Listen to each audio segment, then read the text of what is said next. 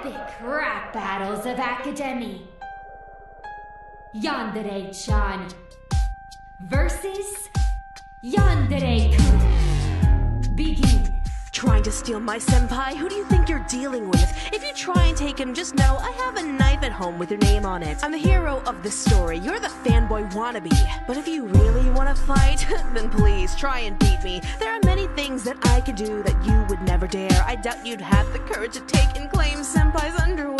Tie a rival to a chair and make her wish she was never born. So drop the act and leave. I'm sure you're missing some freaky cable porn. It's funny how the world is so enamored with your position that only a girl can fill your part for a story's true fruition. But you see, let me tell you about Rule 63. All characters have an opposite sex counterpart. Like me, I'm the guy you don't want to mess with, so you better run and hide. I'll laugh my ass off as I slit your throat open and watch you die. It's not like Senpai will miss you since he'll just end up loving me.